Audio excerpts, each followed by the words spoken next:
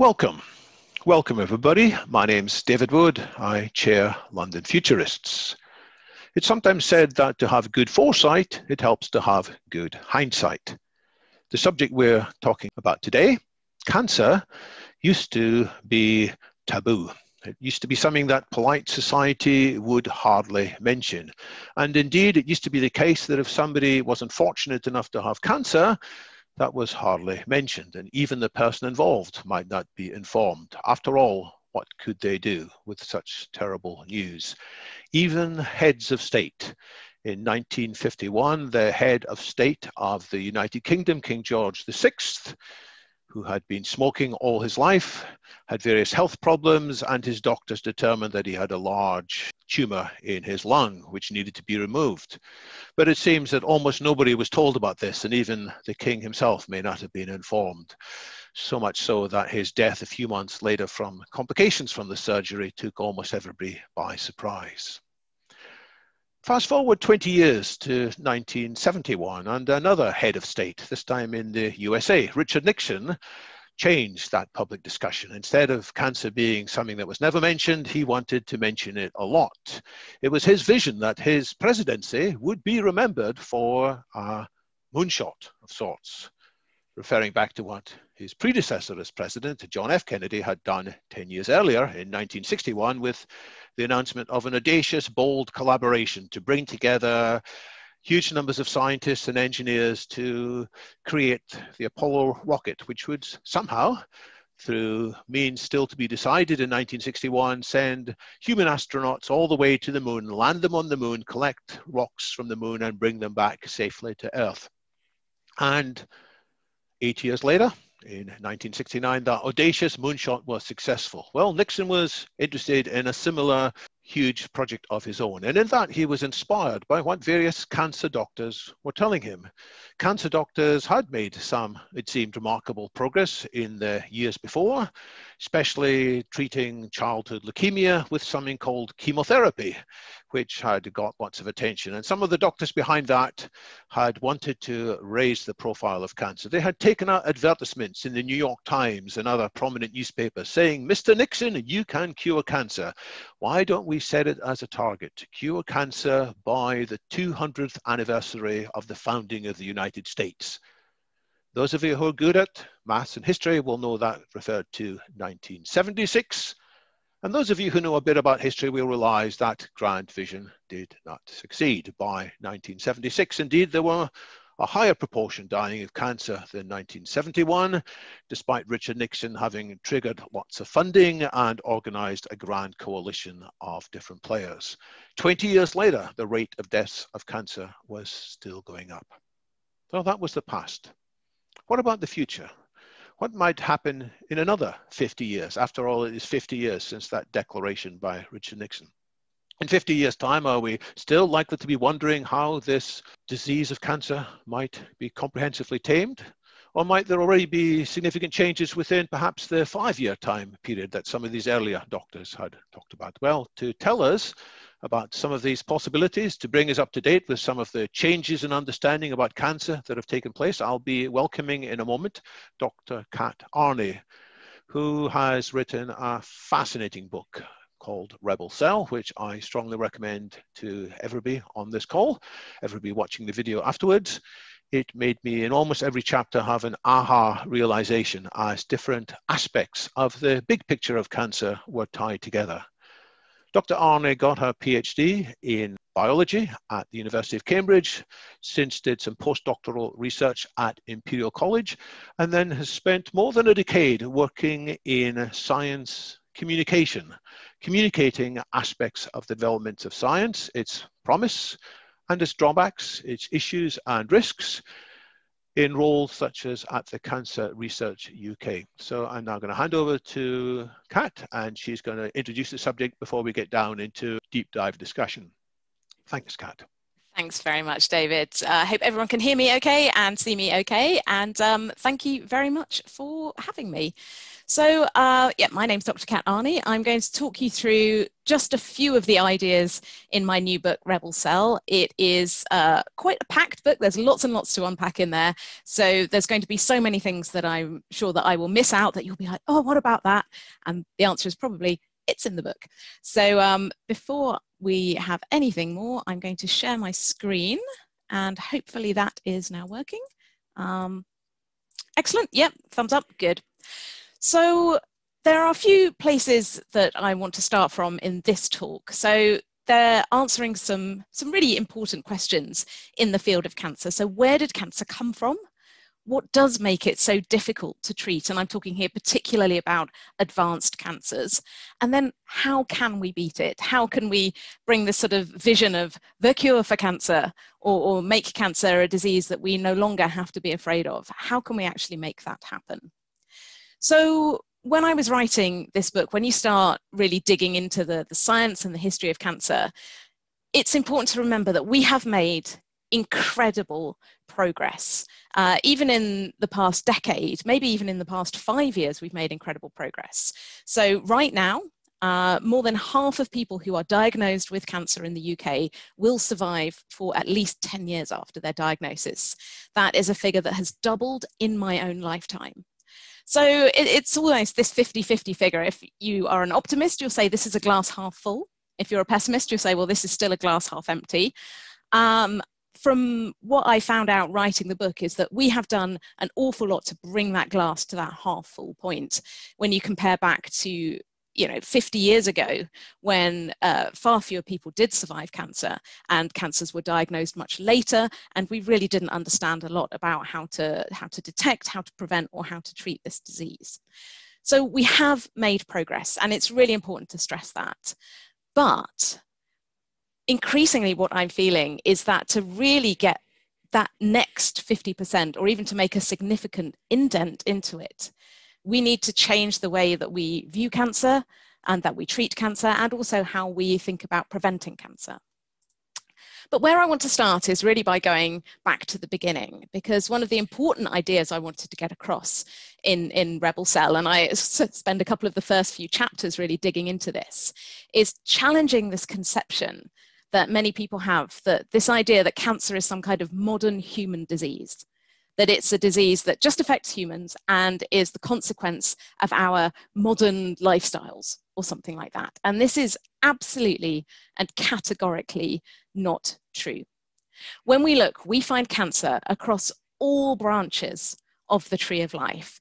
There are a couple of really interesting notable exceptions. Um, comb jellyfish there are no known examples of cancers in jellyfish, and also sponges seem to be uh, incredibly resistant to developing cancers. But everywhere else we look, cockles, clams, crabs, catfish, cavefish, cod, corals, all, you know, tumours appear in frogs, toads, amphibians, snakes, turtles, tortoises, lizards, birds, all kinds of animals from aardwolves to zebras. We find cancer. And you know, this idea that cancer is just a disease that affects humans is simply not true. And even when you look at the incidence of cancer, um, when you take out cancers that are caused particularly by smoking, human incidence of cancer is kind of somewhere in the middle from for animal species. So, you know, apart from some of the things that we do do to ourselves that do not help our cancer risk, we are not unique in the animal kingdom in terms of getting cancer or our risk of cancer. And the, the paper that really blew my mind when I was researching this uh, was a paper from 2014 from um, some researchers who were looking at this creature on the right, and this is something called a hydra. And now these are tiny, tiny little creatures that live in the water, and they're pretty much some of the simplest animals you can get. They've got three different types of cells. They're pretty much a tube uh, with some tentacles on the end. And that, that's what they're like. And this paper described a cancer in a hydra. Now, the researchers hadn't done anything weird. The, these weren't, you know, hydra living in, being given chemicals or anything nasty like that, or genetic manipulations. This was a completely naturally occurring tumor in an organism that is little more than a tube with three different types of cells. So this goes deep. This tells us that cancer is an inherent biological phenomenon that occurs across all multicellular life. And this explains why we see evidence of cancer pretty much wherever we look in the fossil record. So we find evidence of cancers in dinosaurs, particularly hadrosaurs, duck-billed dinosaurs. Uh, the week that my book came out back in August, uh, there was a paper that came out that showed a case of osteosarcoma in a dinosaur fossil that was 77 million years old. Uh, there's a 240 million year old fossilized turtle that's been found with evidence of tumors. So this is a very ancient disease. It's a deep biological phenomenon. And so, of course, everywhere we look in human populations, through the records, we find evidence of cancer. Um, there are hundreds of extant known examples of tumors in human populations, everything from rare childhood tumors through to much more common cancers. And the more we look, the more we find. And the more we use tools like CT scanning, like protein analysis, like DNA analysis, we can start to understand that cancer is a disease that has always been with us, and it has also always been with animals. And this goes all the way back to the dawn of multicellularity. So I, I, don't really have time to go into this a lot here, but we get to the idea that, you know, to be multicellular, your cells have to kind of enter into a pact that we're going to do our jobs, we're going to proliferate when we need to, we're going to die when we're meant to, we're not going to take more resources than we need, we're going to clear up after ourselves. And this is kind of the importance of, uh, this is what being a multicellular organism enables you to do. You can do more, you can be bigger, you can uh, eat more things, you can grow. You can do all these kind of things. You can have specialized tissues if you are multicellular compared to being a unicellular organism like a, a bacteria or an amoeba right? So being multicellular is very useful, which is why multicellularity has evolved and multicellular organisms have evolved of all kinds of wonderful varieties. But to be a multicellular organism, your cells have to live in a kind of society together. And cancer is basically what happens when cells in this cellular society break the rules. They proliferate more than they're meant to. They don't die when they should. They stop doing the jobs they're meant to do. They leave a mess around themselves. They consume more resources than they need to. So this is really the sort of the breakdown of the, the societal contract in our tissues. And that's where the concept of cancer as a cellular rebellion, the title of the book, comes from, is really not just exploring cancer as this, this idea we might have of something other, something that just sort of happens or, or comes to us. This is a cellular rebellion that starts from within the tissues of our body. And it's not confined to humans. This can happen wherever we get multicellular organisms, which is why we see cancers in everything from tiny hydra to giant elephants. So cancer is a deep, deep, old, ancient biological phenomenon that arises out of multicellularity. And this is important when we start to think about how to prevent cancer and the way that we talk about cancer and the way that we talk about what causes cancer. Because you know i spent um, 12 years of my career working at cancer research uk in science communication talking to a lot of patients a lot of people affected by cancer or whose loved ones had been affected by cancer. And their questions were always you know why me? What what caused this? What did i do wrong and we have this narrative in society that oh you must have done something you know were, were they a smoker did you do this did you do that you know what we what can we blame cancer on and there are certainly things that we know in our lives and in our environments that increase the chances of cells tipping over into this rebellious state. And I'll talk a bit more about why that might happen later. But fundamentally, there is just, it's a biological phenomenon. Even if you lived a completely, and I put this in quotes, pure, you know, completely healthy life, doing nothing wrong, uh, and I'm you know, take that uh, in the spirit in which I mean it, there is a non-zero chance that you would develop cancer. So we cannot pin cancers on just one thing. Oh, you got it because you smoked, or you got it because you did that, or this. It's an emerging biological phenomenon from our tissues. There are things that we do that might accelerate it, and there are things that we can do to reduce the chances of this happening. But cancer is deep and it's inherent within our multicellular bodies going back through millions of years of evolution. And here's like a fun little thought experiment. This is my kind of late night whiskey thought. Was that, you know, if we ever find evidence of aliens, alien life, and it's multicellular, would they also have cancers? And I kind of think probably yeah. Like this isn't a phenomenon that we know emerges in multicellular life. So unless, you know, aliens are exactly like comb jellyfish or sponges, and we don't quite know what their deal is, we don't know why they are so cancer resistant, um, yeah, I think aliens could get cancer. Discuss. Um, so let's move on to think a bit more about what cancer actually is. So when I was at Cancer Research UK, I used to sit down and do a lot of these explainer pieces. It would be like, what is cancer? And I would always, always almost always start with the same sentence. You know, cancer starts when a cell picks up genetic mutations and multiplies out of control. And that's this idea of like a rebellious, naughty cell that somehow gone wrong. So whether these are changes that are caused by something from the outside, or most of the time, the changes, the mutations that our cells pick up come from the internal processes of life. Every time your cells divide, every time the DNA is copied that makes new cells in your body, mistakes get introduced.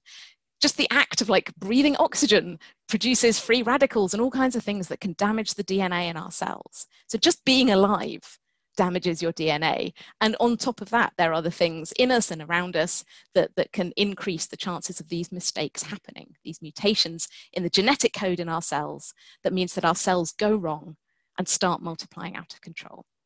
And if you want to give this kind of a, a fancy scientific name, this kind of model our understanding of cancer, we, we call it the somatic mutation theory. Somatic means of the body, so cells of the body, mutation, genetic changes.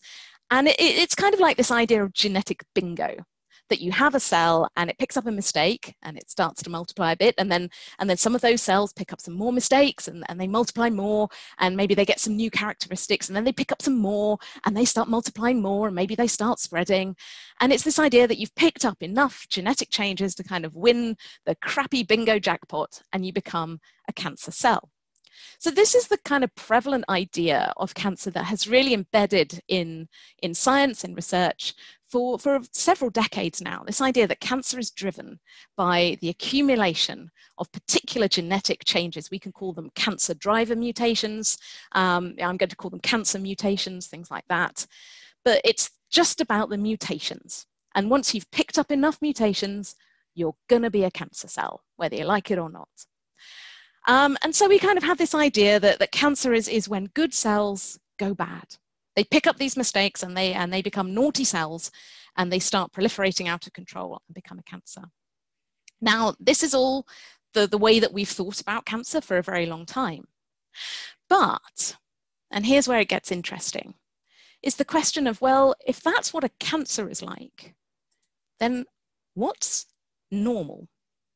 Because as scientists, we tend to only look at the disease. We only look at what's gone wrong. We don't look at what's gone right. And now we have the tools that enable us to use DNA sequencing technology, where we can look at, at genes and mutations in tiny, tiny samples of cells. We don't have to have big lumps of tumor and mash them up and, and look for mutations. We can look at tiny samples of normal tissue and, you know, and this was a really audacious experiment that was done by uh, teams of researchers at the Sanger Institute in Cambridge, who said, all right, let's get hold of some normal tissue and look at what the mutations are like in there. And people were a bit like, well, why would you do that? Like, it's normal, right? Cancers are the ones with the mutations. And they were like, well, you know, let's just do it. We've got a grant, you know, off we go. Um, so they looked for some samples of normal tissue. And uh, the first place they started looking was the eyelid.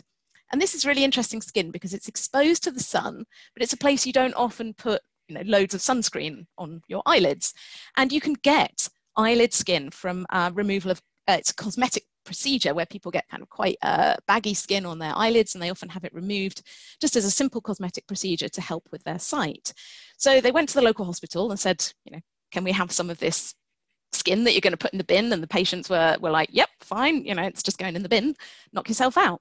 And so they started looking at tiny samples across this normal tissue. There's no signs of cancer. This is just completely normal skin from people from a range of different ages. And they discovered that this completely normal skin was a patchwork of mutation. Many of these mutations and this is important that if we had found them in a cancer we would say that that was a cancer mutation, a cancer driver mutation, responsible for driving cancer cells. So they, they kind of were like, well, that's interesting that completely normal appearing skin seems to be chock full of these cancer mutations. And they went on and they looked at esophageal tissue, so the, the food pipe that connects your mouth to your stomach. And again, people of different ages, these circles represent kind of little patches of cells with different mutations that if we found them in a cancer, we would say those were cancer driver mutations. And you can see that some of these patches have multiple different mutations in them. But all this tissue was normal. None of these people had esophageal cancer. And you can see on the right, uh, the person who's uh, in their 70s, it's like, this is, this is like the world's most crazy uh, design, you know, 60s curtains kind of thing. But all of those patches represent mutated cells that if we found those mutations in a cancer, we'd say that those were cancers. So this really kind of blows that somatic mutation theory out of the water. Like cancer is not just about the accumulation of mutations. And this also leads us to another interesting thought, is that cancer is rare. Now, this seems absolutely heretical to say because we all know that cancer is incredibly common. You look around, you know, one in two of us will be diagnosed with cancer at some point in our lifetime. Cancer is incredibly common. And I'm like, yes, it's incredibly common on a population level. But on the level of your body, that is made of trillions of cells that are multiplying millions and millions of times throughout your life, picking up all these mutations, all these changes. And yet, any one of us might, in our whole lifetime, get one, maybe two, maybe if we're very unlucky, three primary cancers emerging, new cancers emerging in a lifetime in our body. That is one times 10 with 14 zeros after it. The odds on this lottery are incredibly small. Yet, we know that it happens. But it happens very rarely on the scale of our bodies. So this is a bit of a conundrum because rather than cancer being a disease of, you know, our bodies are made of good cells and then some of those cells go bad, our bodies are kind of made of like sad cells. You know, they've, by the time we're getting to middle age and older, they've all seen some stuff. And writing this book, you know, I'm sort of looking at my skin and like, what's going on in there? You know, my cells have seen some stuff. I'm, I'm in my 40s and, um, and it's only going downhill from here. So, you know, your cells are, are all sad. But the question is, what turns a sad cell into a bad cell? And this is really another of the ideas that I explore in a lot of depth in the book. And there definitely does, there's an increasing evidence emerging that there's some kind of tipping point that it's not just about the single genetic changes, the single changes in particular genes that are driving cells to become cancer, that there's some kind of more serious catastrophe. Now, what we're looking at in this picture are chromosomes. Every cell in your body has 23 pairs of chromosomes. These are long strings of DNA that are packed with genes. And this is what normal chromosomes should look like. Um, if these are taken from someone who's genetically female, um, if you were genetically male, you'd have uh, one X chromosome and one Y chromosome. But this is, uh, this is normal chromosomes. So they're all like nice pairs, everything looks good. Now let's look at some chromosomes from some cancer cells. And these are the chromosomes taken from six different breast cancers. And I hope that, you know, even the non-scientists among you can see that there are some differences here. So there are chromosomes that have been duplicated. There are chromosomes that have gone completely missing. There are chromosomes that have been glued together where they should not be. So there is some kind of chromosomal catastrophe that happens on the road from cells just being sad and kind of, you know, doing their, doing their thing as we go through life to becoming a cancer. We don't know what triggers this. Um, we don't know what encourages it. We don't know why some cells where this happens survive rather than dying. Uh, so these are really active, interesting questions in the field of how do our cells evolve from, from being sad cells, evolving into being bad cancer cells. But we certainly know that this kind of chromosomal chaos is absolute rocket fuel for the evolution of these cells to become aggressive, invasive cancers. And we can start to see the, the development of cancer as a kind of evolutionary journey from, from healthy cell to kind of like sad cell to bad cell to aggressive cell and, and then on ultimately, and I'll talk about this next, to the kind of cancer that is resistant to treatment or comes back after treatment. And we also start to see, and I don't really have time to go into it in a lot of detail here, that it's not just about the chromosomes, the genes, the mutations. Because evolution, we know, is not just about genes, it's about the environment in which these cells, in this case, or in any situation, um, could be organisms, species, it's not just about the genes, it's about the environment as well. And it's about the environment, in this case, the microenvironment of our tissues. Is there a good blood supply? Is there inflammation going on? What are our tissues like? And, you know, tissues where things are all a bit awry, maybe these are the kinds of tissues in which cancer is more likely to emerge. And our tissues do change as we go through life. Um, as we become older, there's more chronic inflammation in our tissues. Our immune system changes, it becomes less effective.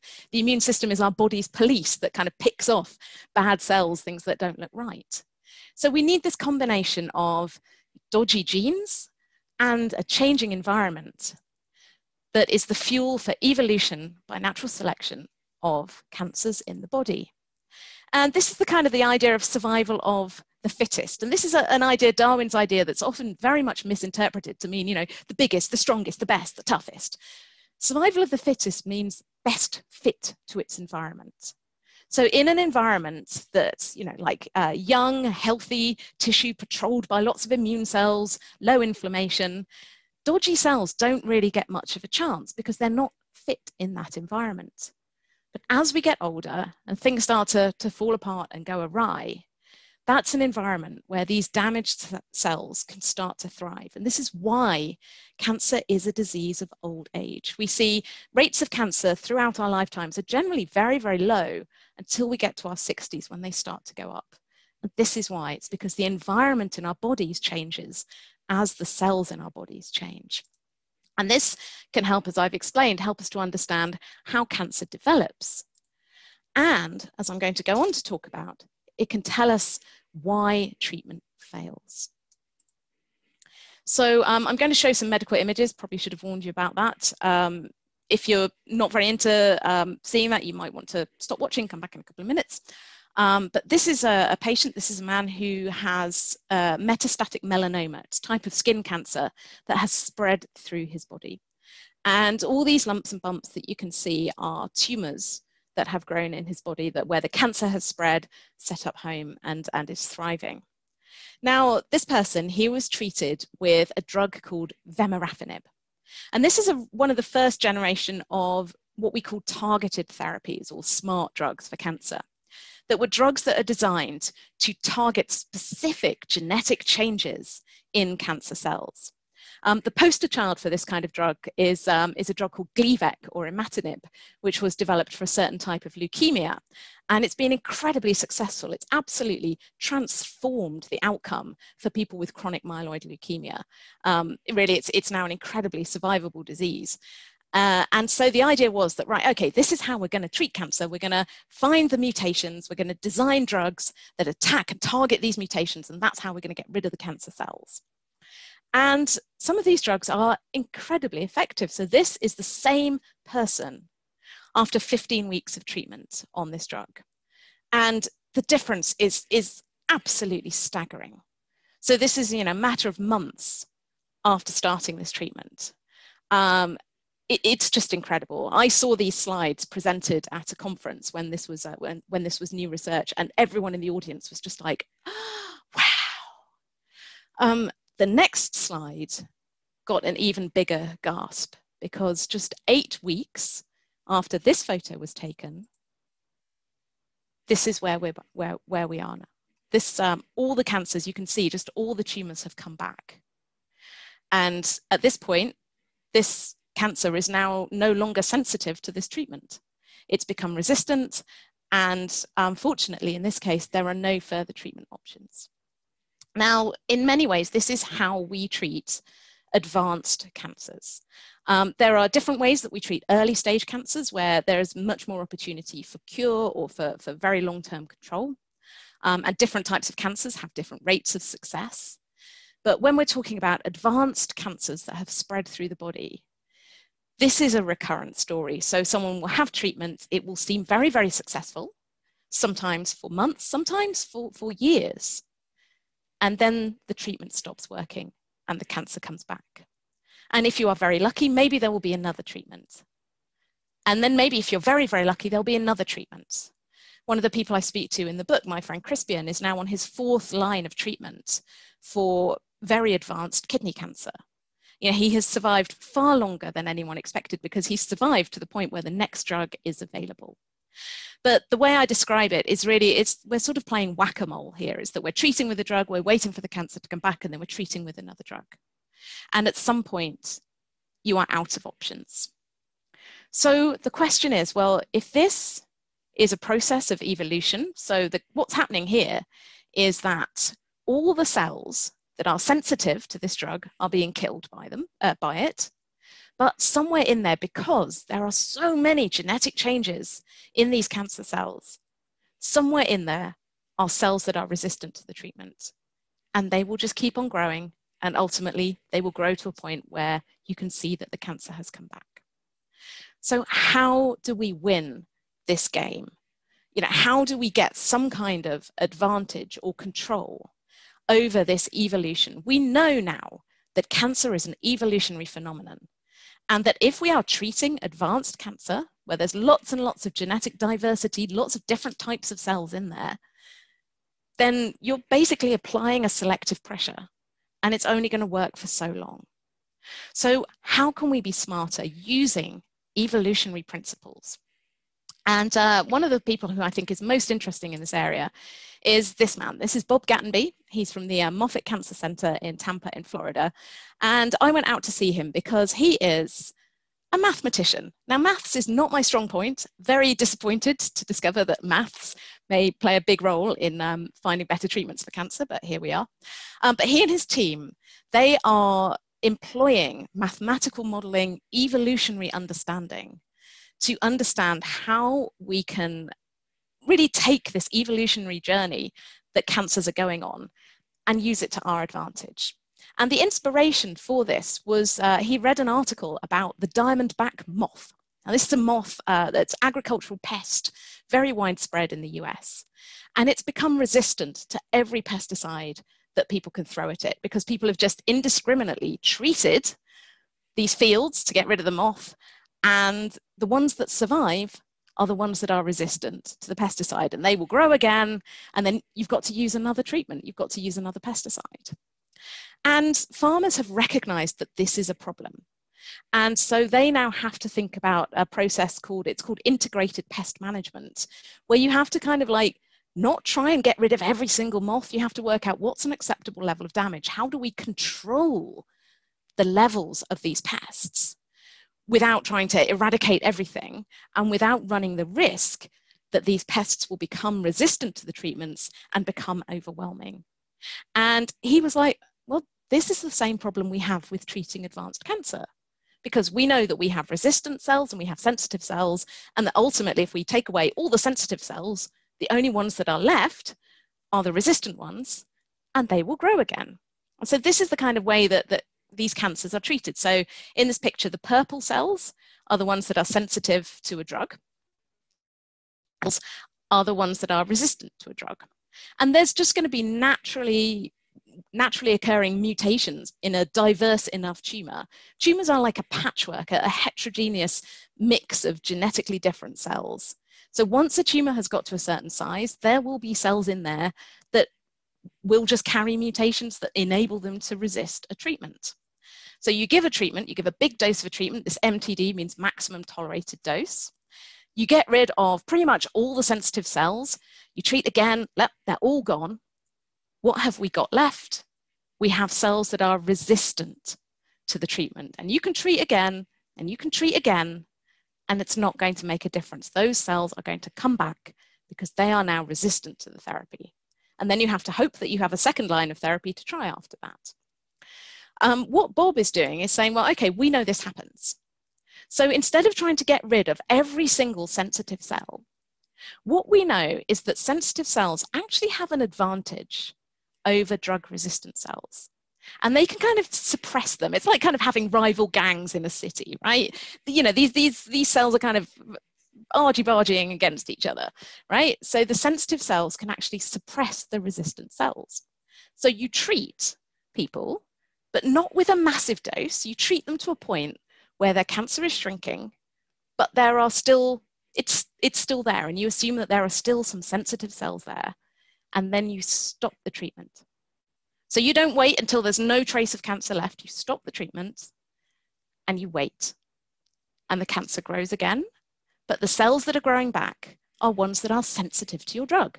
And so you treat again. And you go through these cycles because the sensitive cells are suppressing the resistant cells. You're not applying this really strong selective pressure that's only going to leave resistant cells in there. And he's been doing this. He started off testing this approach in, in mice um, with great success and then moved into clinical trials in humans. The first trial was in prostate cancer.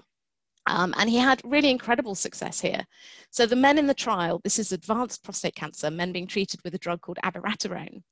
And the average time that men will be on this drug before they get to this point where um, the cancer has just come back and it's resistant is usually 18 months.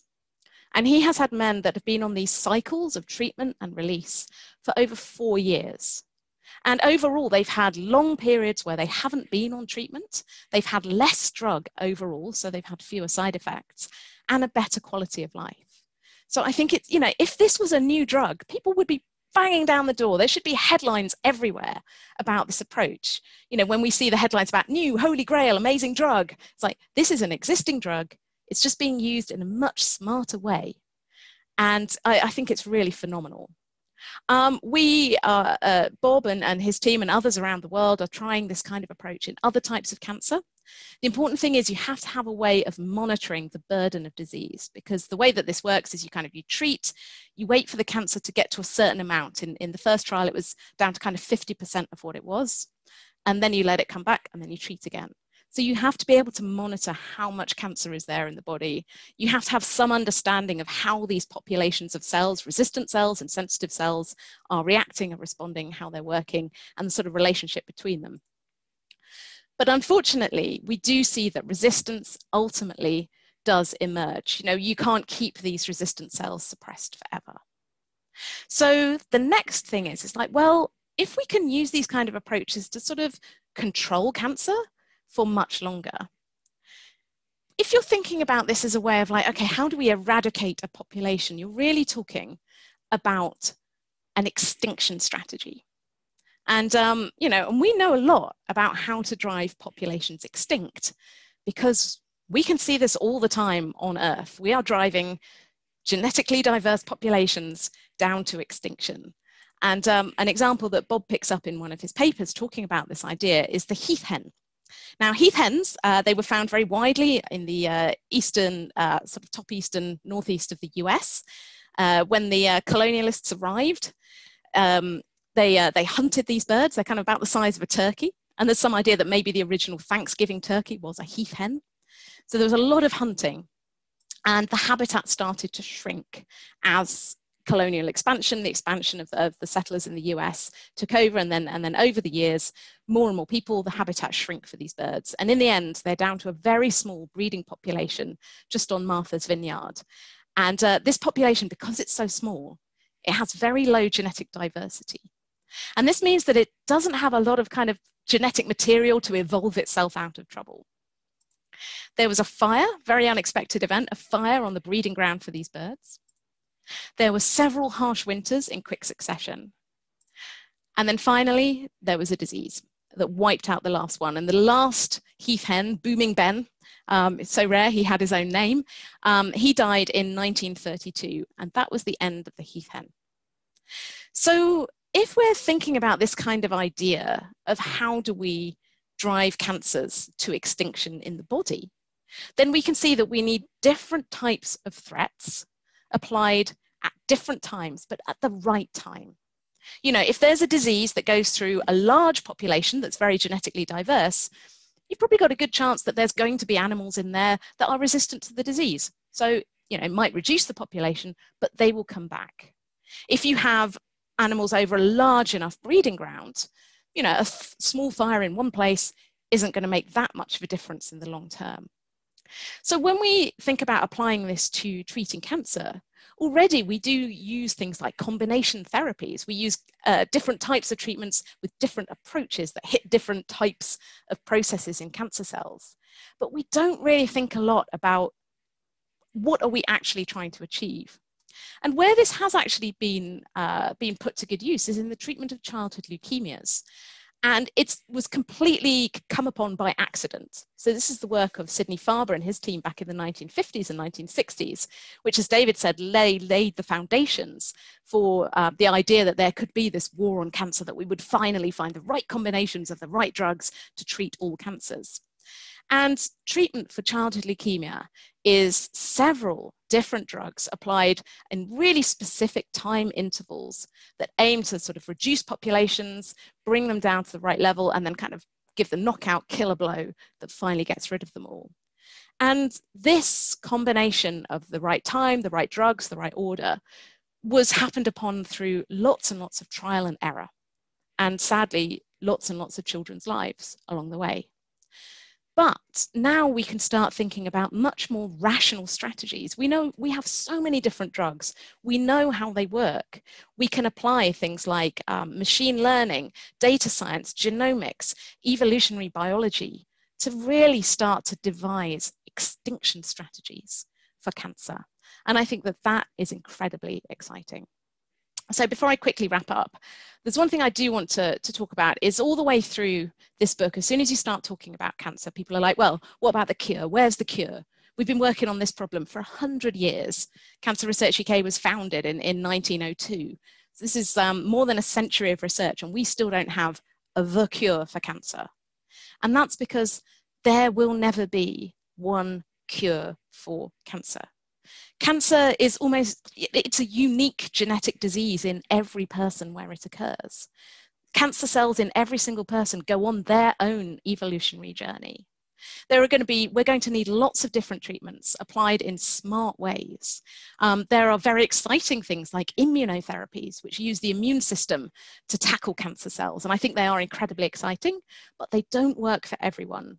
And in some cases, they can actually suddenly make cancers an awful lot worse because the immune system is a tricky beast. Um, and we need to be very careful when we unlock its power against cancer.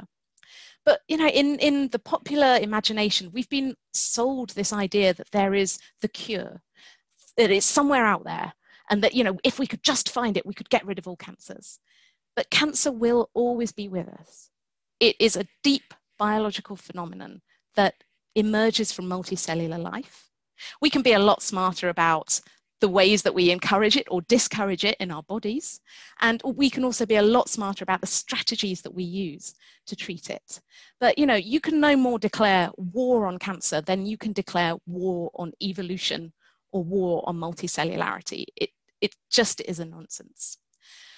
And ultimately, and this is maybe a slightly strange note to end on. But when um when I was researching the book, I went to talk to a lot of scientists all over the world, and and I was talking to um, Peter Campbell, who's a very eminent cancer geneticist, and I, he's at the Wellcome Sanger Institute in Cambridge. And I said, well, what's like what's the end game here? You know, if we do manage to control cancers or or you know, drive them to extinction, like what's what's the end game? And he's like, well, you know, I guess it's that you live long enough to die of something else first. And you know, the more I, I write about health and, and cancer and all kinds of diseases in my in my job, I'm a professional science communicator. You know, human lifespan is finite. We all have to die of something. But, you know, having witnessed firsthand the impact that cancer has on, on families, on friends, uh, people losing loved ones, people living long term with the after effects, of treatments. You know, I want to see a world, we can't ever hope to see a world where there is never any cancer. It's just a biological impossibility. But where we live long, healthy lives, where this is a disease that is controllable, um, in some cases curable, that's what I'd like to see, where people are not losing their lives in, in middle age, even late middle age, early old age, the older and older we can go living healthy, long, happy lives. Um, that's what I would really like to see, and that's what I would really like to hope for in the future. So thank you very, very much for your attention. Um, you can get my book. It is uh, available from all good and evil bookshops, and you can buy signed copies and some signed book plates. If you've already got a copy, you can get me uh, a nice sort of Darwinistic book plate uh, from rebelcellbook.com, and you can find me on Twitter. So thank you very much for your attention. Many thanks, Kat. There's so much there to think about. Well, to the audience, uh, it's now a chance for you to think which questions you would like to put into the discussion. Somewhere down below, you'll find a Q&A uh, little icon. If you type your questions in there, then it will allow the audience as a whole to vote on which questions are most interesting and people can vote in that window by hovering their mouse over the thumbs up and clicking it. So I see four questions already. I'm sure more will arrive and I will tend to take the ones that have eh, been voted most highly. From me first, Kat, you mention that there are some animals that seem not to have cancer. A very few, sponges and uh, some kinds of jellyfish. There are other animals, possibly elephants or whales that uh, don't seem to have cancer anything like as much as often as we might expect given their great size. Are scientists looking at these animals to see if we can learn what their secret is and to what extent that will inform uh, treatments for humans? Absolutely. And I, I think this is so fascinating. There's a, quite a big chunk of the book where I'm looking at uh, cancer through the animal kingdom and what we can learn from it. And there's a really interesting thing called Peto's paradox, which is at work here, which is the fact that um, if cancer is purely a function of cells going wrong, you would expect that very long lived and very large animals, right? They're made of lots and lots of cells that are multiplying lots of times and are around for a very long time. You would expect that very big animals would have much higher rates of cancer. And in fact, it's the opposite. So very large, long-lived animals like uh, whales, like elephants, um, and to some extent humans, you know, we do not have as many cancers as you might expect compared to actually very small rodents. Very high chance of developing cancer. Mice and rats do get a lot of cancers. But this is again, the other evolutionary aspect is about the evolution of the kind of the lifestyle um, the reproductive lifestyle of these species. So small animals tend to go for like a live fast and die young approach. So they're going to live for a very short time, they're going to produce lots of offspring, um, and then it's on to the next generation. And so they don't have, they haven't evolved very good protective mechanisms in their tissues. Um, they heal very fast, but that's at the risk. If, you, if your cells are constantly like, oh, we could proliferate right now, uh, you're much closer to becoming a cancer. Whereas something like a giant tortoise, um, one of the researchers I spoke to is, is researching this exact phenomenon. And she wanted to get hold of some skin from a giant tortoise. And she went to the zoo and was like, Can you just do a little skin punch? Just get a small sample of skin. And the zoo were like, No, because that giant tortoise will take a year to heal. So animals like animals that are have very low incidence of cancer they have used different mechanisms. So elephants, we know, have lots of copies of a gene called P53 that means that as soon as their cells are damaged, their cells just die. And like if you're an elephant, you kind of got cells to burn, right? So as soon as an elephant cell is damaged, it just dies. Um, naked mole rats live for a very long time. They have some really unusual characteristics, several mechanisms that help to protect themselves. Um, uh, capybaras, very, very big guinea pigs, um, have a surprisingly low rate of cancer. They've evolved some things in their immune system. Their immune systems are very good at patrolling and removing dodgy cells from their body. Um, bats, Brandt's bats live for about 40 years, and they've evolved a way of kind of uh, putting the caps on the ends of their chromosomes to enable their cells to multiply more often before they're likely to become damaged. So there's all sorts of things that we can learn about how animals um, either live, uh, either have a very high risk of cancer or a very low risk of cancer. And it's, it's an absolutely fascinating area of biology for sure. You mentioned that uh, evolution is the survival of the fittest in a given environment. And you mentioned that the environment of possible cancerous cells inside the body changes over time. That possibly when we are relatively young, the environment isn't so conducive to cancerous cells, but as we are older, somehow that environment encourages more cancerous growth. Well, what is it? Do we know what's changing in the environment? Is it that the immune system has got weakened? Are there other aspects that are understood? So this is where the science of cancer really intersects with the science of aging. Um, and I would highly recommend if people are interested in this, there's a really nice kind of companion book to my book, which is called Ageless. It's a book by Andrew Steele that's just come out. And, um, and, and that's kind of the flip side because as our bodies age, our tissues change. So you know, young tissue, uh, sort of, you can describe it as like it's buff, like our cells are tightly stuck together. Um, our immune systems are very active and good at spotting things that are going wrong and getting rid of it. Um, we have very low levels of inflammation all of these things change. And also, as our cells are picking up the, the kind of mutations that I described, even if they're not cancerous, they may be affecting the ability of our cells to do their jobs normally. So, you know, everything does start to go downhill as you get older. Your tissues do start to become less well glued together. We start to see chronic inflammation, long term inflammation that alters um, the tissues. We see reduced function in the immune system.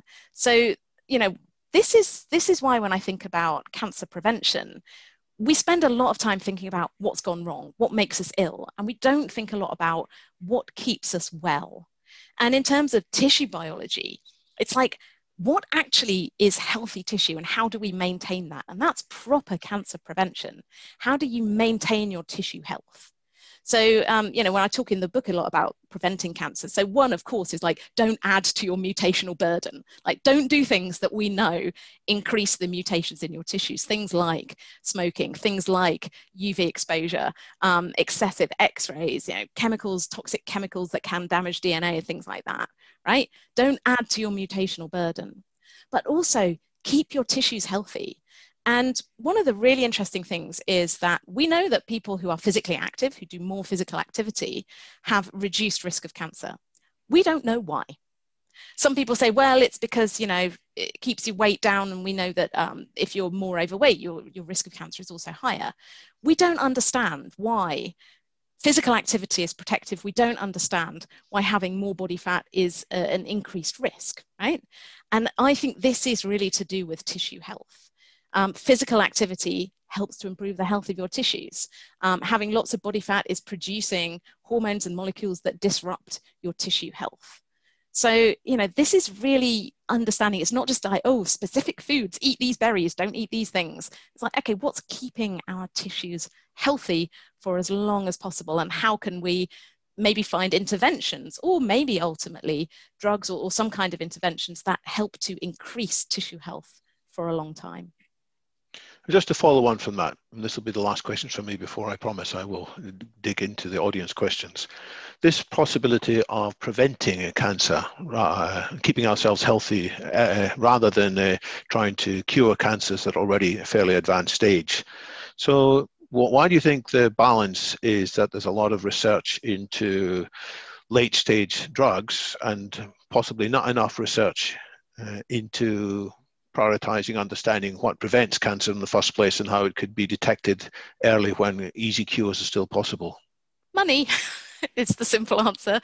Um, money. Um, I, you know, I'm I'm not a sort of a tinfoil hat conspiracist um, at all, but I think that the incentives in the, the system and in the pharmaceutical industry and in the political system and in the research system um, are skewed against prevention. Um, it's also, prevention is difficult, right?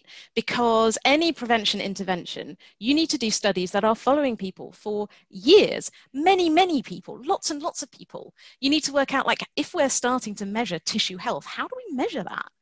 And also, if you're going to give people, um, particularly when you start thinking about things like preventive drugs, if you're going to give someone a drug that should be preventive, you need to be really sure that that is not going to cause problems and, and you're going to have to monitor people for a very, very long time.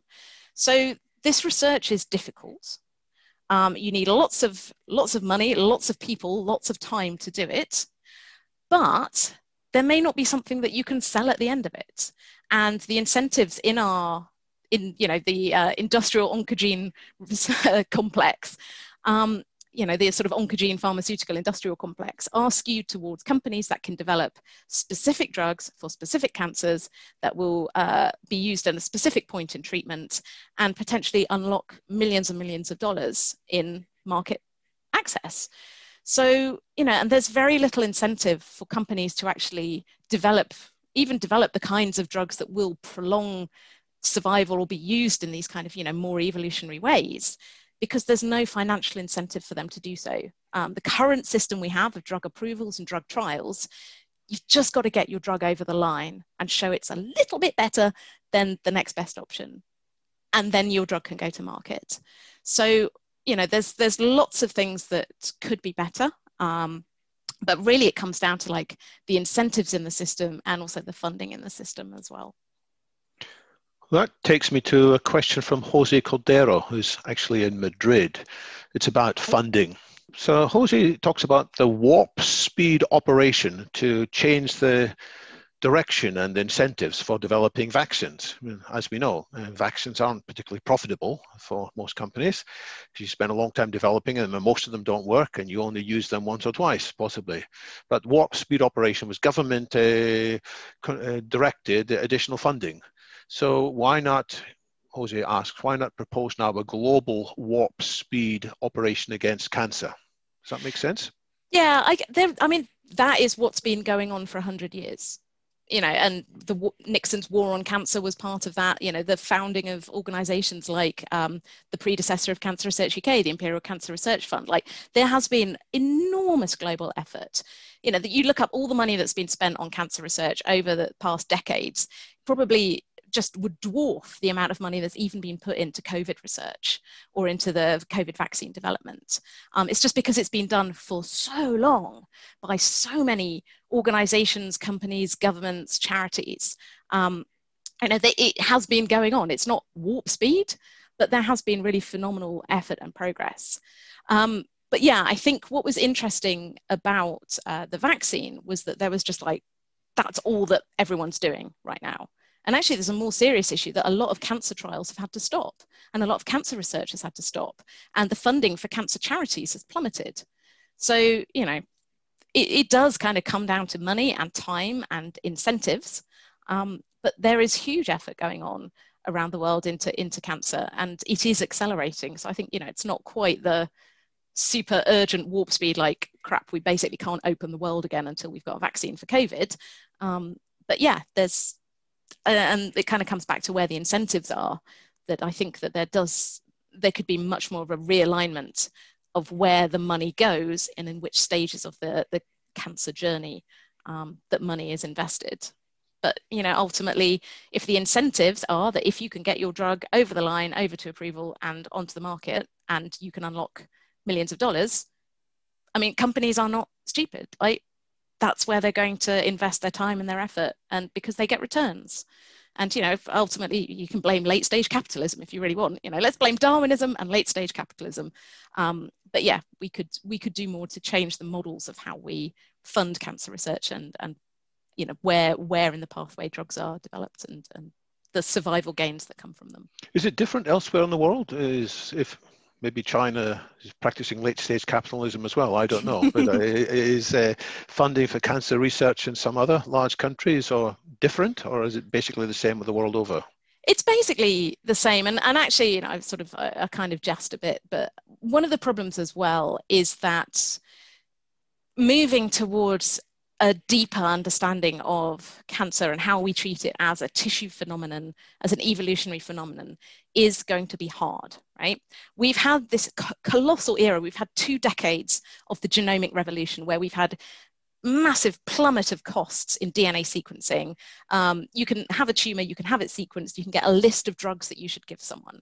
And that is where everyone is getting really excited. This is how we're going to treat cancer. Ultimately, once your cancer is advanced enough, those drugs are going to fail because of evolution, right?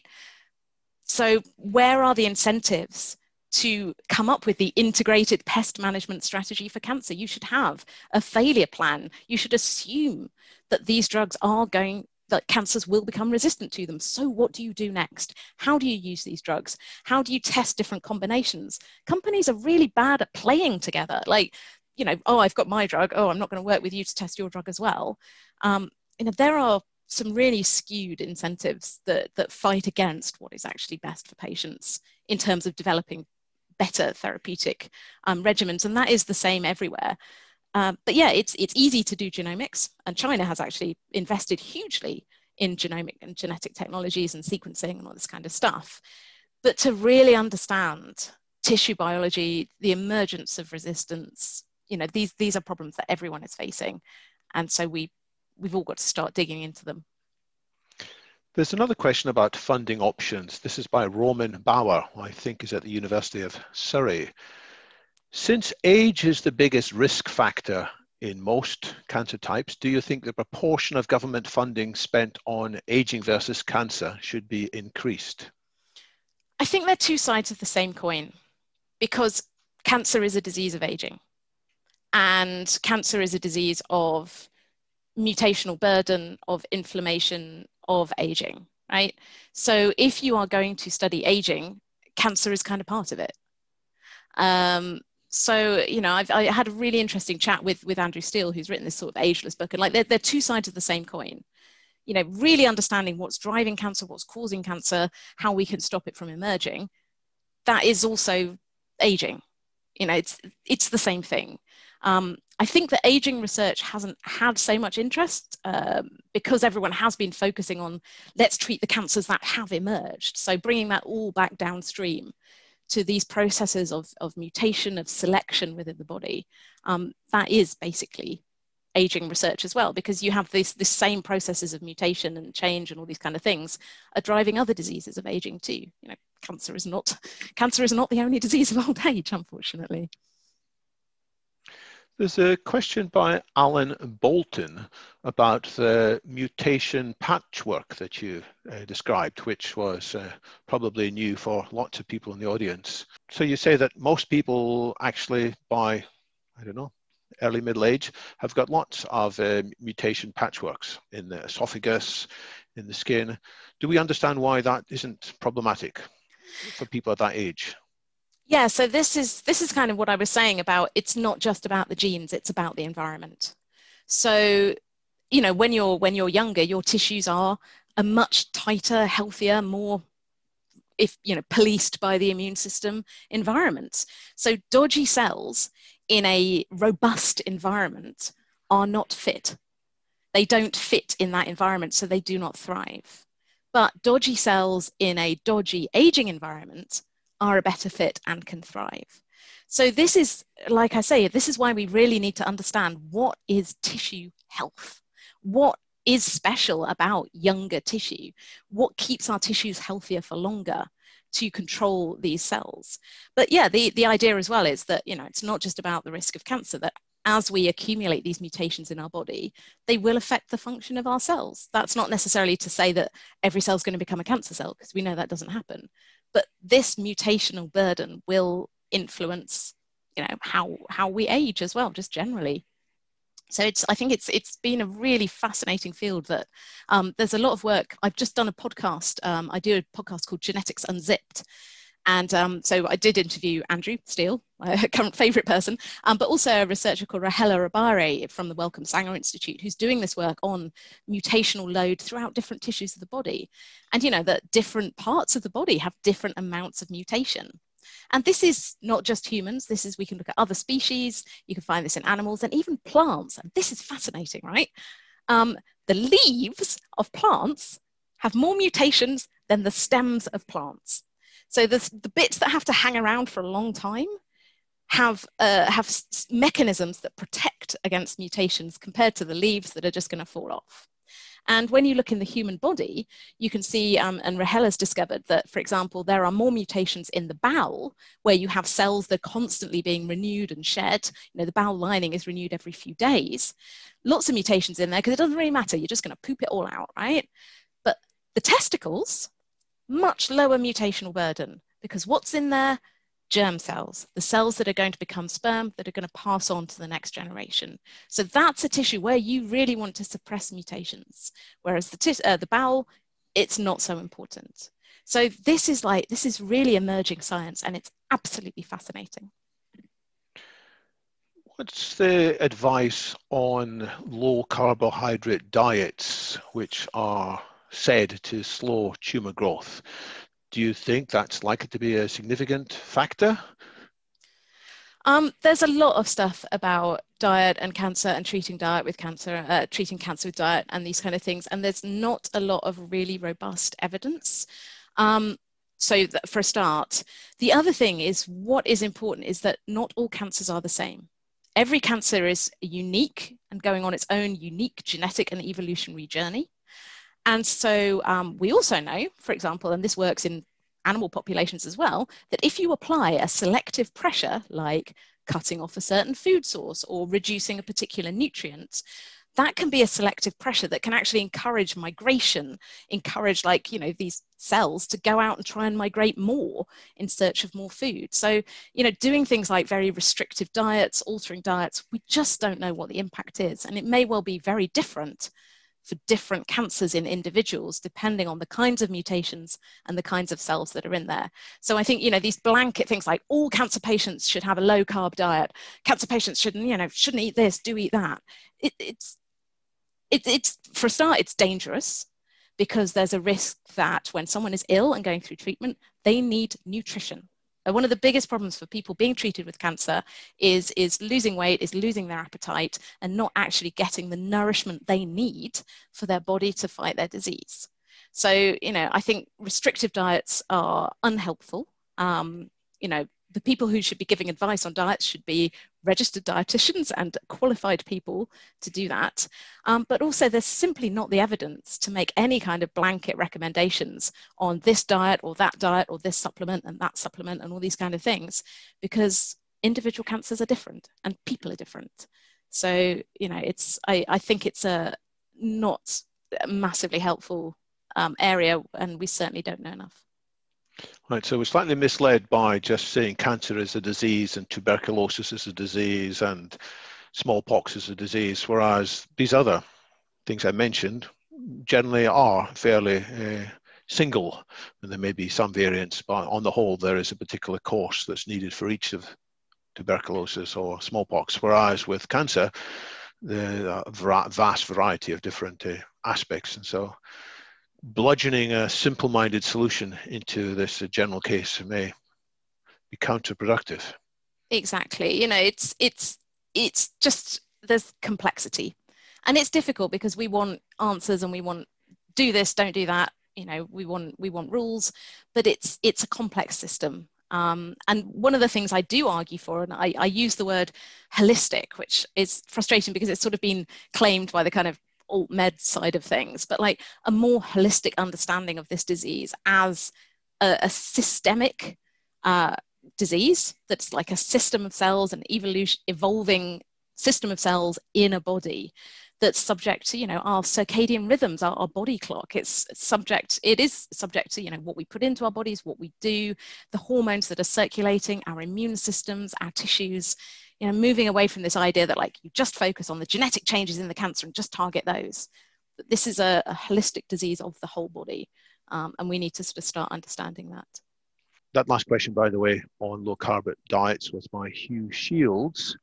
A follow up on lifestyle choices generally. This is a question again from Alan Bolton. You've mentioned some things that we should avoid doing that inject uh, the risks of mutations. And do you have other general proactive lifestyle choices that you think, although it's not going to guarantee no cancers, will reduce the probability? Yeah, so it's kind of like I say, like there's two aspects to cancer prevention. So one is don't don't add unnecessarily to your mutational burden. And so we know many things that can cause mutations. And there's some really interesting work that's actually going on to try and pin that down. So there's, this is again uh, work from the Sanger Institute, um, who are just doing really incredible work in this area. Um, and it's a project called the Mutographs of Cancer, where they're looking at thousands of tumors from all over the world in different types of cancer, looking at the DNA and looking for like, you can kind of see the scars of different types of damage left in the DNA of tumors, and then mapping that back onto different causes. Um, importantly, many of these signatures that they find, kind of almost like the fingerprints of, of culprits for damage, are just the processes of life.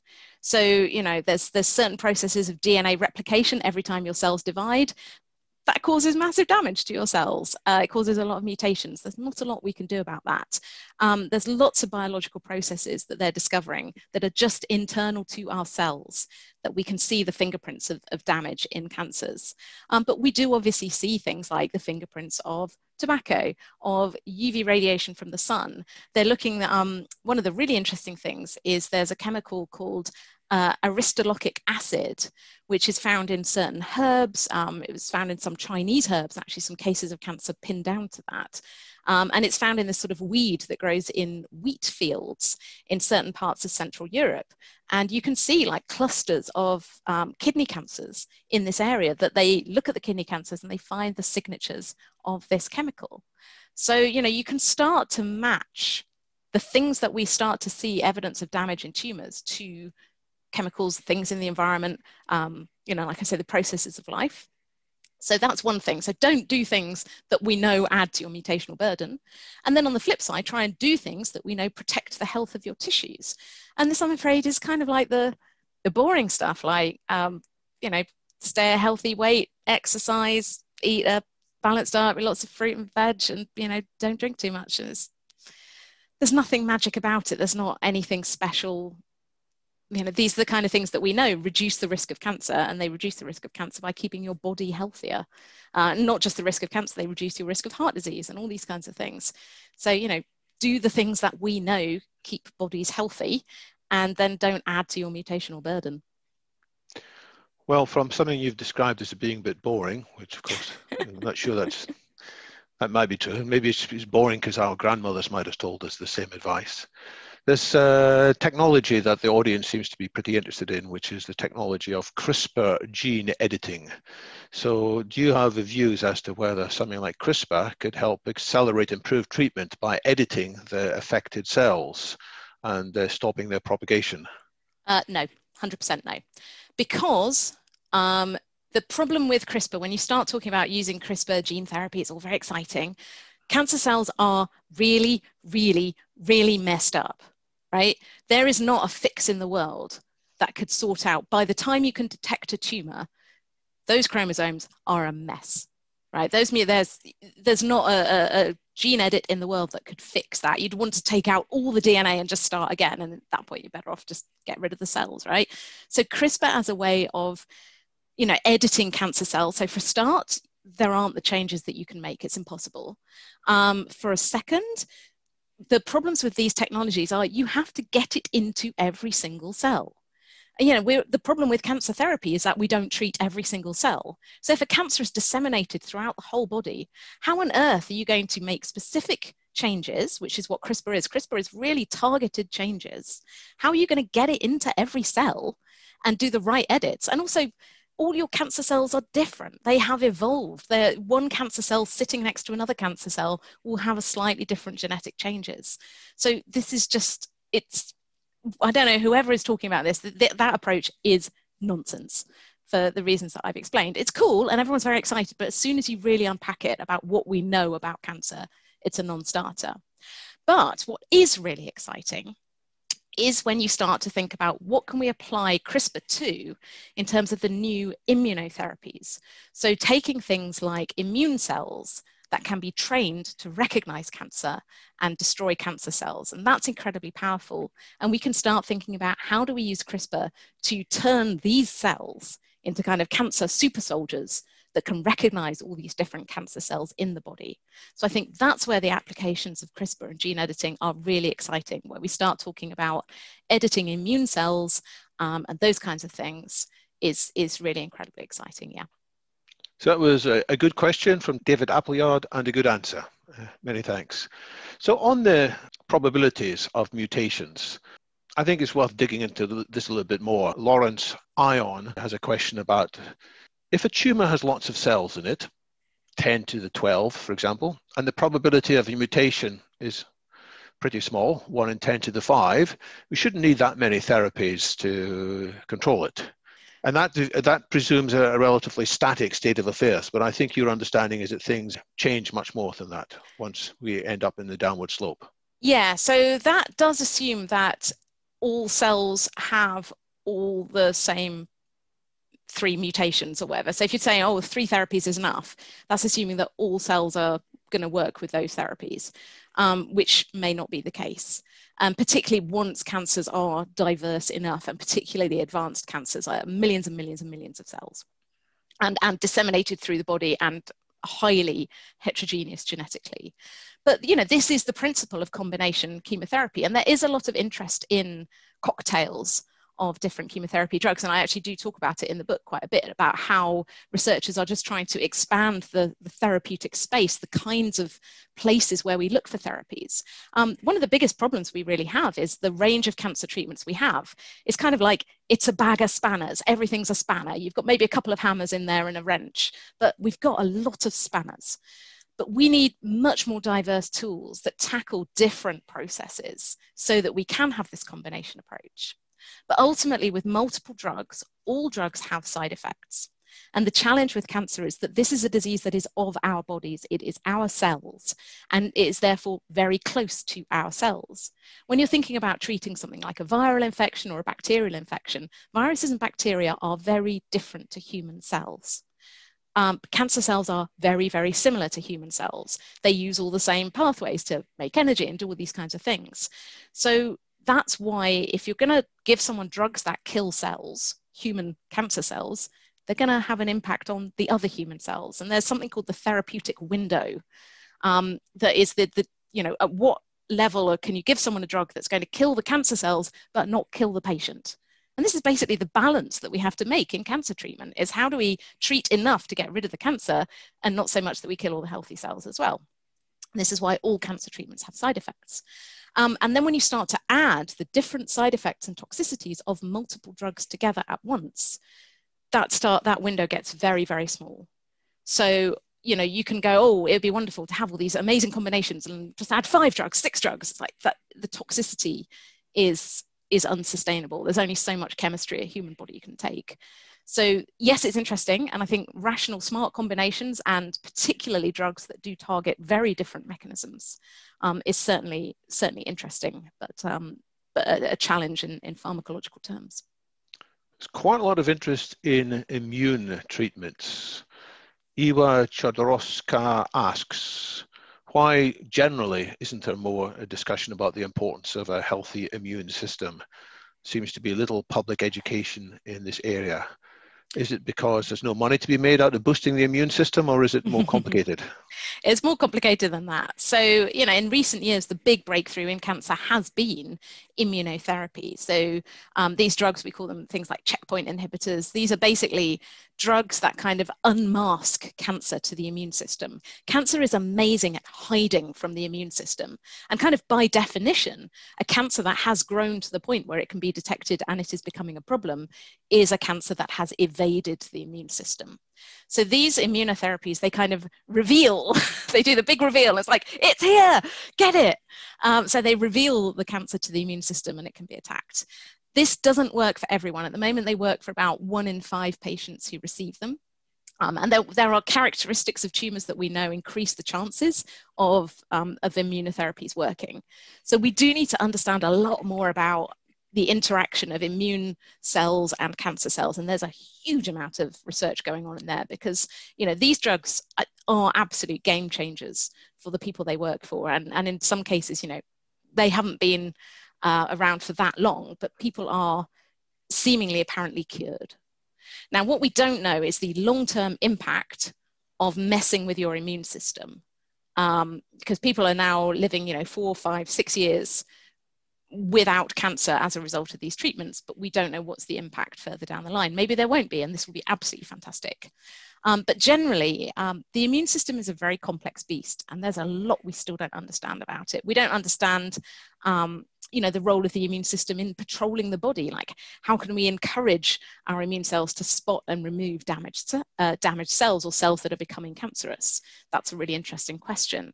Um, but there's also a lot of absolute guff talked about, like boost your immune system with this and that, and it's pretty much universally nonsense. Um, so it's like, oh, boost your immune system to fight cancer. It's like, how, what, which bits? It, it's usually um, nonsense, I, I have to say. Because uh, the, the risks of autoimmune diseases, amongst other things.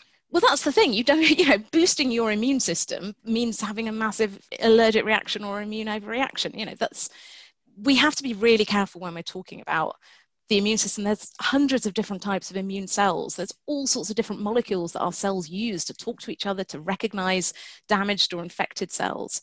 So, you know, this is a complicated thing. Um, and certainly the immunotherapies are very interesting. Um, but yeah, it's, it's, it's an emerging field, I would say. How important do you think the degraded immune system is to the overall observe, observed fact that uh, aging uh, increases the likelihood of cancer? Do you think that maybe 50% of the that increased uh, likelihood of aging is might be due to a weaker immune system, or 10% or 90%, or I mean, that's a hard question, but that's why P&J. Yeah, no, it's, it's, a hard. It's a hard. I, I, I wouldn't like to put any kind of figures on it. Um, certainly, you know, my my top suspicion is that inflammation and declining immune function are two really important things that change the tissue environment as we age and enable like you know dodgy cells to become fitter in that environment. But uh, putting numbers on it as i'm not equipped to do that now and the greater infl- inflammation, the inflammaging as it's sometimes called, is partly due to more senescent cells being around the body. And the senescent cells are crying out to the immune system, please come along and uh, hoover us up. But the immune system isn't particularly strong as we get older. And so the more and more messages and it uh, causes inflammation, maybe that uh, increases cancer as well. Exactly. And, you know, in, in, Andrew's book, he talks a lot about this process of in, inflammaging, inflammaging. Um, and, th- and that's what I mean. You know, it's these, these two topics completely intersect, like the, the biological changes of aging intersect with the processes of cancer. Um, so they're, they're kind of two sides of the, the same thing. I should mention that we had Andrew as a speaker recently, and uh, his uh, talk is available in the YouTube channel for London Futurists, which, yes, I thoroughly recommend as well. The final question on immune system. What about the new technology, which is talked about a lot these days, mRNA vaccine deliveries? You know, we've suddenly realized there's new ways to put mm-hmm. vaccines into the body to help the immune system. Is this likely to have any impact on cancer? This is by Francis Remedios. So, um, yes, very exciting. Um, and actually, so uh, the recent episode of Genetics Unzipped, the first one we did in January, is all about the history of mRNA and the history of mRNA vaccines.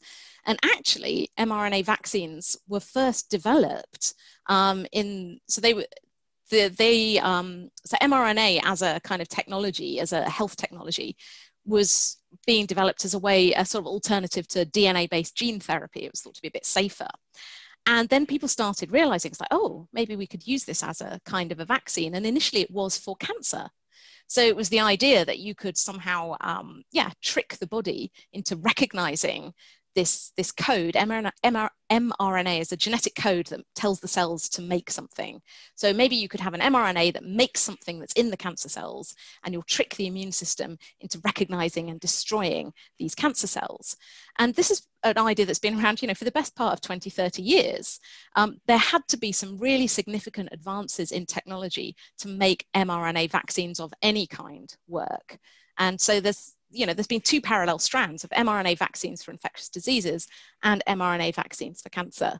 And so, you know, this, this idea of cancer vaccines. So this is not vaccines that stop you from getting cancer, but it's the idea of a vaccine that uh, enables the immune system to recognize and destroy cancer cells. So I think that that is, and particularly now through the COVID vaccines, you know, it's really got this technology nailed. It's been a massive proof of principle that this stuff works, that it is safe, how you deliver it. There's been huge advances in kind of the nano encapsulation of mRNA, the delivery mechanisms, just of the code itself. There's really clever things in like swapping out some of the letters, the bases in the code um, for ones that then don't trigger um, things like, you know, immune reactions that you don't want. So it's it's phenomenal technology. So go and check out uh, the Genetics Unzipped podcast episode about that if you want to know a bit more. But yeah, as um, as cancer vaccines, it's it's definitely an exciting area. Um, still, I'd say in the very research phase at the moment, though. So people should simply Google Genetics Unzipped. Yeah, you can find it. Um, if I get a minute, I will see if I can grab the link and pop it in the chat. But... Fine. And that takes me to, I think, will have to be the last question, which I'm going to ask you to put on a futurist hat. A question from Jose Cordero, which has got more votes than any of the others. So, what do you think the most promising new cancer treatments will be in 10 years' time? So, in 10 years' time, I think I think immunotherapies will probably be the most exciting treatments. Um, there's a lot of things to assume in there, um, but I think they will be very exciting. The knowledge generally of the immune system is is moving really, really, really fast, and this whole field of immune oncology is really going big, big guns. Um, so I think that's definitely an area to watch. Um, actually, what we just talked about, this idea of like mRNA vaccines, I think is a very exciting area, and it, it ties into the immune system. Um, things like adding in these like you know modified cells that can seek out modified immune cells that can seek out and destroy cancers. So I think this whole area of immunotype treatments for cancer is going to be very very exciting. Um, and that's going to be a big shift. So uh, yeah, I think. Uh, and does that shift depend upon fixing some of the incentives which are governing how the what did you call it? The onco uh, industrial complex. Onco, yeah, pharmaceutical oncogene industrial complex. Right. Um, yes, I think that that is also going to be an issue, and especially for um, treatments that are not curative. What's interesting with immunotherapies is that some of them certainly do seem to be curative, which is absolutely incredible. Like the cancer does not come back. Um, but at the moment, they, they don't work for everyone and, and they're not always successful. So that, that's an important caveat. Um, but yeah, I think that trying to work towards a better balance of incentives where it really is about survival benefits it's about quality of life on these treatments as well that that should really be taken into account um, you know i think that that's very important too. So, you know, that's going to be for, for health services and the people who are paying for these treatments um, to really say, you know, this, these are the things that we care about. It's for regulators to say, these are the things that we care about, and we will not approve your drug unless you can show how you use it and the, the you know, what you do when people become resistant to it. So this is, um, you know, these are big, big systemic challenges at the level of government regulators, of funders, of investors, of the research community, and patients asking for this, and, and the medical community too, and healthcare services all, all round. And certainly in countries where they have it, the insurance system as well, which is a whole other um, world of problem. Um, which we don't have time to unpack here.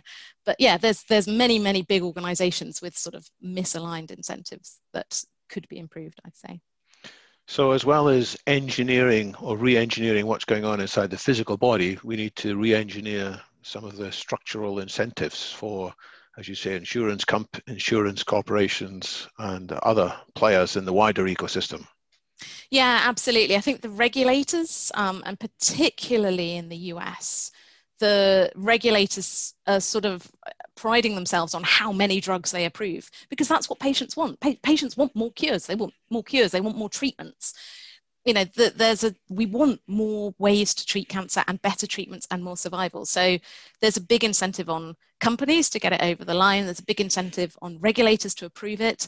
In countries where you have insurance-based healthcare, there's a big incentive for insurers to you know pay for it because they got loads of money to pay for it and doctors to prescribe it so you know there there are some really big systemic challenges i think in the way that cancer is treated um, which I, again i don't go into in a lot of detail in the book because that's a whole other problem um, a guy called vinay prasad who's excellent cancer commentator.